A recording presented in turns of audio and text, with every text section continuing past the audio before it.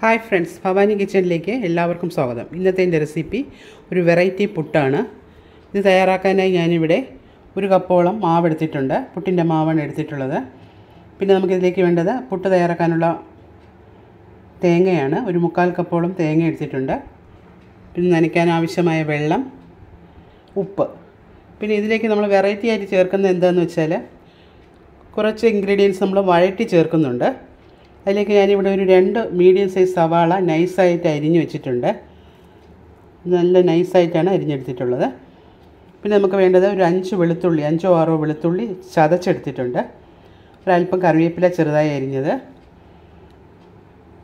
Chilli flakes ഇത് നമ്മുടെ ആവശ്യത്തിന് എരിവ് നമുക്ക് എത്ര ആവശ്യമുണ്ടോ അതനുസരിച്ച് ചേർക്കാവുന്നതാണ്. പിന്നെ ഇതിലേക്ക് ചേർക്കാൻ ഒരു അല്പം ഒരു രണ്ട് ടേബിൾ സ്പൂണോളം തേങ്ങായും എടുത്തിട്ടുണ്ട്. ഇനി നമുക്കിതെങ്ങനെയാണ് ചെയ്യുന്നതെന്ന് നോക്കാം. ആദ്യം നമുക്ക് ഈ പുട്ടുപൊടി ഒന്ന് നനച്ചെടുക്കാം. ഇതൊരു ബൗളിലേക്ക് മാറ്റുകയാണ്. ആവശ്യത്തിന് ഉപ്പുപൊടിയും ചേർത്ത് കൊടുക്കുന്നുണ്ട്.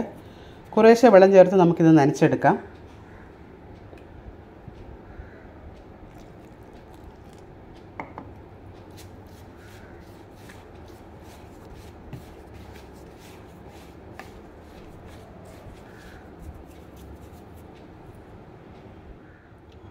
പുട്ടുപൊടി ഇവിടെ നനച്ചെടുത്തിട്ടുണ്ട്. നല്ല സോഫ്റ്റ് ആയിട്ട് എടുത്തിട്ടുണ്ട്. ഇപ്പോൾ ആദ്യമായിട്ടൊക്കെ ചെയ്യുന്നവർക്കാണെങ്കിൽ ചിലപ്പോൾ കട്ട കെട്ടിപ്പോയി എന്ന് തോന്നുകയാണെങ്കിലേ ഒത്തിരി മാവങ്ങ് കട്ട കട്ടയായിട്ടായി പോയി എന്നുണ്ടെങ്കിൽ നിങ്ങൾക്ക് മിക്സിയിലിട്ട് മിക്സിയുടെ ജാറിലിട്ട് ഒറ്റ പ്രാവശ്യം ഒന്ന് കറക്കി എടുക്കാവുന്നതാണ് അങ്ങനെ എടുത്തു കഴിഞ്ഞാൽ നല്ല സോഫ്റ്റ് ആയിട്ടുള്ള മാവായിട്ട് കിട്ടും നമുക്ക്. ഇത് കണ്ടോ? ഒന്നും കട്ടയൊന്നുമില്ല. നല്ല സോഫ്റ്റ് ആയിട്ട് കിട്ടും. ഇങ്ങനെ മാവ് ഒന്നും നനച്ച് കഴിഞ്ഞിട്ട് ഒരു പത്ത് മിനിറ്റ് പതിനഞ്ച് മിനിറ്റോളം ഒന്ന് വെച്ചതിന് ശേഷം പുട്ട് തയ്യാറാക്കാം. അപ്പോഴായിരിക്കും കുറച്ചുകൂടെ സോഫ്റ്റായിട്ട് പുട്ട് കിട്ടുക. അപ്പോൾ ഇനി നമുക്കിതിലേക്ക് ചേർക്കാനുള്ള മസാല തയ്യാറാക്കാം. ഞാനിവിടെ ഒരു ചീനച്ചട്ടി വെച്ചിട്ടുണ്ട്. അതിലേക്ക് ഒരു രണ്ട് ടേബിൾ സ്പൂണോളം വെളിച്ചെണ്ണ ഒഴിച്ചു കൊടുക്കാം. വെളിച്ചെണ്ണ ചൂടായി തുടങ്ങിയിട്ടുണ്ട്. നമുക്ക് ആ നൈസായി അരിഞ്ഞു വെച്ച സവാള രണ്ട് മീഡിയം സൈസ് സവാളയാണ് ഞാൻ എടുത്തിട്ടുള്ളത്. ചെറുതായിട്ട് നൈസായിട്ട് അരിഞ്ഞെടുത്തിട്ടുണ്ട് നമുക്ക് നല്ല സോഫ്റ്റ് ആവുന്നവരെ ഒന്ന് വഴറ്റിയെടുക്കാം.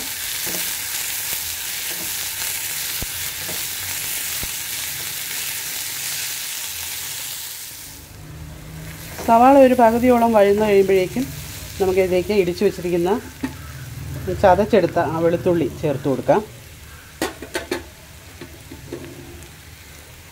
വെളുത്തുള്ളിയുടെ പച്ചമണം മാറുന്ന വരെ നമുക്കൊന്ന് വഴറ്റിയെടുക്കാം ഇത്.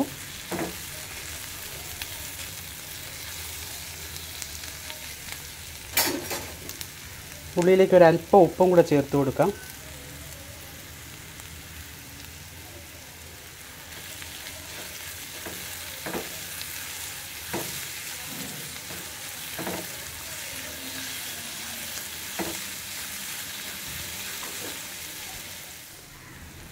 വെളുത്തുള്ളിയുടെ പച്ചമണമൊക്കെ മാറി വന്നിട്ടുണ്ട്. ഇനി നമുക്കിതിലേക്ക് ആ അരിഞ്ഞു വെച്ചിരുന്ന കറിവേപ്പില ചേർത്ത് കൊടുക്കാം.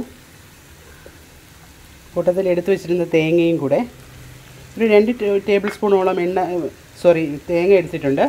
അതുകൂടെ ഇതിന്റെ കൂടെ ചേർത്തൊന്ന് വഴറ്റിയെടുക്കാം.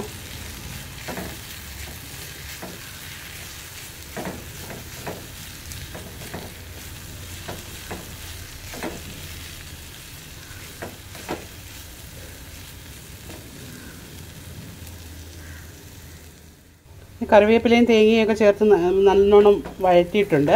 ഇപ്പോൾ ഒരു നല്ല മണമാണ്. നല്ല വെളുത്തുള്ളിയും ആ സവാളയും കറിവേപ്പിലയുടെയൊക്കെ ഒക്കെ കൂടെ ചേർന്നൊരു നല്ലൊരു മണമാണ് ഇപ്പോൾ നമുക്കിതിന്റെ കൂടെ അവസാനമായിട്ട് എടുത്തു വെച്ചിരിക്കുന്ന ചില്ലി ഫ്ലേക്സ് കൂടെ ചേർത്ത് കൊടുക്കാം. ചില്ലി ഫ്ലേക്സ് ഒത്തിരി അങ്ങ് ചേർക്കണ്ട. കാരണം നമുക്ക് പുട്ട് നിറം മാറിപ്പോവും. എന്നാലും എരിവിന് ഇതൊക്കെ വെള്ളം ചേർത്തൊന്ന് വഴറ്റിയെടുക്കാം.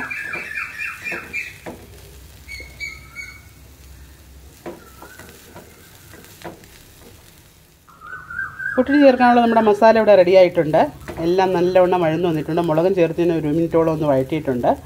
ഇതാ പച്ചമണം മാറുന്നവരെ ഒന്ന് വഴറ്റി എടുത്തിട്ടുണ്ട് ഇനി നമുക്കിതൊരു പ്ലേറ്റിലേക്ക് മാറ്റിയിട്ട് തണുക്കാൻ വയ്ക്കണം തണുത്തതിന് ശേഷം വേണം നമുക്കിത് മാവിലേക്ക് ചേർത്ത് വരികയെടുക്കാനായിട്ട്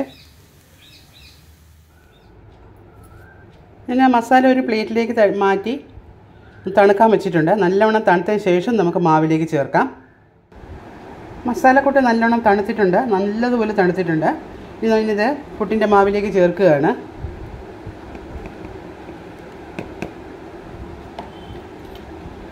നല്ലോണം മിക്സ് ചെയ്യാം.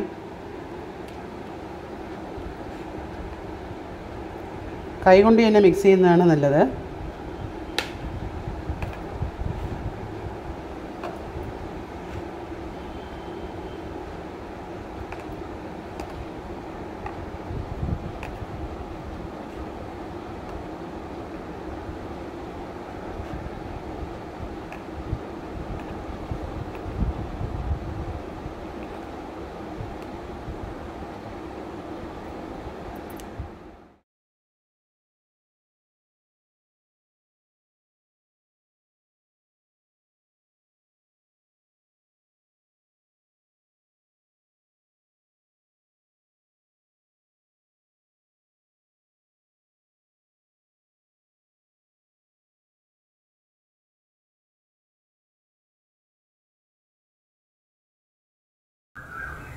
പുട്ടുകുടത്തിൽ വെള്ളം തിളച്ചു തുടങ്ങിയിട്ടുണ്ട്. നമുക്കിത് പുട്ട് വെച്ച് കൊടുക്കാം. ആവിയിൽ ആവി വന്നു ഒരു പത്ത് മിനിറ്റോളം നമുക്ക് വെച്ചാൽ മതിയാകും. പുട്ടിവിടെ റെഡി ആയിട്ടുണ്ട്. നമുക്കിതൊരു പാത്രത്തിലേക്ക് മാറ്റാം.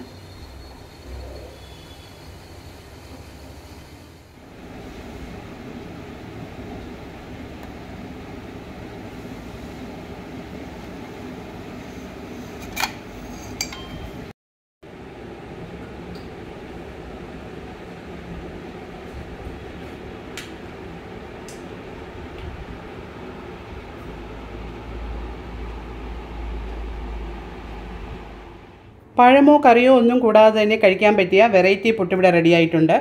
വളരെ പെട്ടെന്ന് തയ്യാറാക്കാൻ പറ്റുന്നതാണ്. എന്നാൽ വളരെ നല്ല സ്വാദിഷ്ടവുമായ ഒരു പുട്ടാണിത്. ഇതെല്ലാവരും തയ്യാറാക്കി നോക്കുക. തയ്യാറാക്കി നോക്കി നിങ്ങൾക്ക് ഇഷ്ടപ്പെടുകയാണെങ്കിൽ ലൈക്ക് ചെയ്യുക ഷെയർ ചെയ്യുക. നിങ്ങളുടെ വിലയേറിയ കമൻസും അറിയിക്കുക.